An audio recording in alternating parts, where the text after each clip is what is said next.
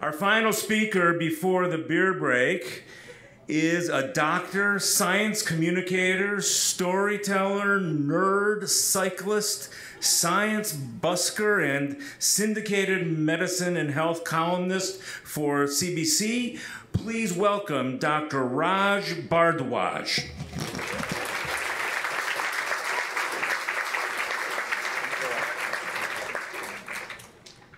We're going to do all of biochemistry in six minutes and 40 seconds. It's going to be awesome. Okay, for realsies. Here we go. A nurse waved me over as she handed me a chart as I started my night shift. Can you go see this next guy? Steve, not his real name. It, uh, he looks pretty uncomfortable. It was a pretty, you know, typical busy evening. Steve had arrived by ambulance uh, an hour ago complaining of abdominal pain that it started that evening. So I took the chart, I knocked on the door, and I introduced myself as I stepped into his room. Hi, Steve. I'm Raj. I'm one of the doctors who's working tonight. I'll be taking care of you. Tell me your story. Steve told me the same vague story that he'd told the triage nurse. He had some abdominal pain, started while he was watching TV, kind of started, got worse. Now it was coming in waves. No fever, no nausea, no vomiting, no diarrhea, no heartburn, no recent travel. Never had anything like this before. As Steve told me his story, I was building a mental list of possible causes for his pain. We moved on to the physical examination. Everything seemed pretty normal. No signs of jaundice, no fever, no dehydration.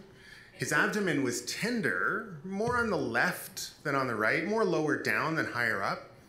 One of the more uncomfortable, unpleasant uh, parts of a doctor's job is to sometimes do a rectal exam.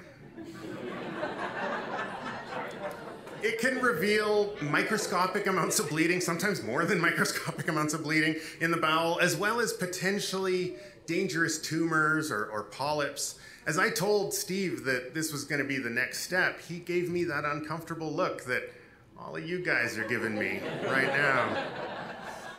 But then Steve uttered the words that gets every doctor's and nurse's spider sense tingling. He said, Doc, you're not going to believe this.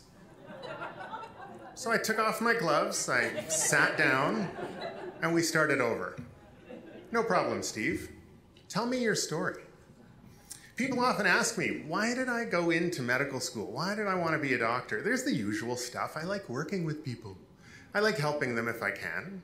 Uh, the human body is fascinating, but for me, it's more than that. It's about communication. It's about understanding your stories. It's also about caring about you while I care for you.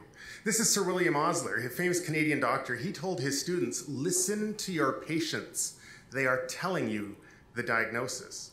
I would add, listen to your patient because that's the first step in caring for them. The problem is these days, people's stories get lost. They get hijacked by Google or WebMD where you type in stomach pain and you get a list of diagnoses from cancer to snake bites.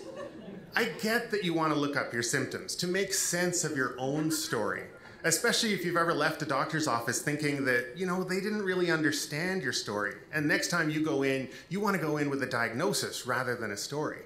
But the diagnostic tools available on the internet are blunt instruments compared to a thoughtful, knowledgeable, caring human.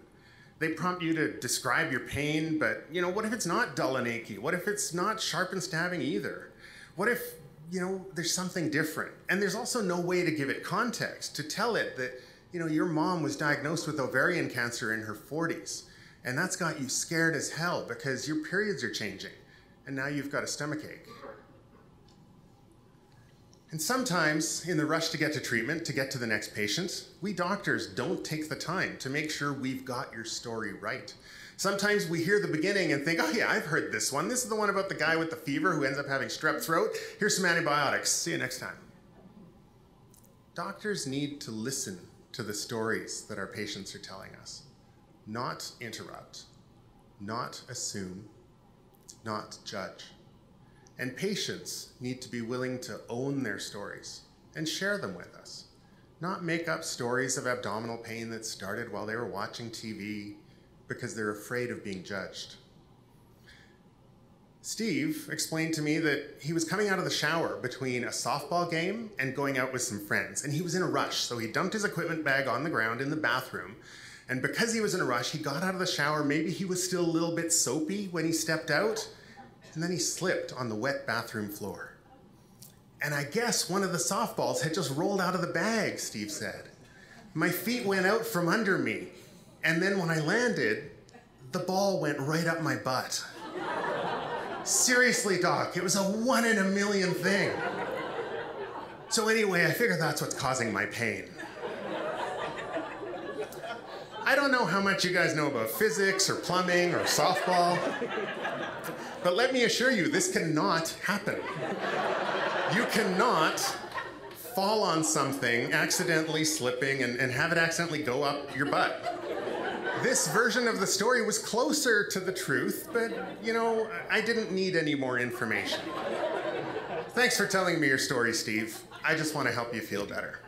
Steve never told me his real story because he did not want to be judged or ridiculed. And I don't want you to think that that's what I'm doing now. I'm not.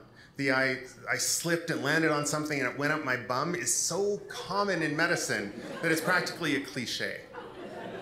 All because people let their story get away from them because Google, because anxiety, because fear. Now, it turns out it's awfully hard to get a non compressible sphere, four inch diameter, out from a person's rectum without causing even more damage. So we sent Steve to the hospital, and the surgeons opened him up and took out part of his colon. But I try to remember stories like this when I'm feeling rushed and I'm tempted to blow by a person's story and jump to the diagnosis and the treatment. I try to remember listen to your patient, they're telling you the diagnosis. Listen to the patient, because that's the first step in caring. There's a bargain, an understanding in the doctor patient relationship. You speak your truth. You don't hide. I listen. I do not judge. Together, we move forward in medicine and maybe in life. Thanks.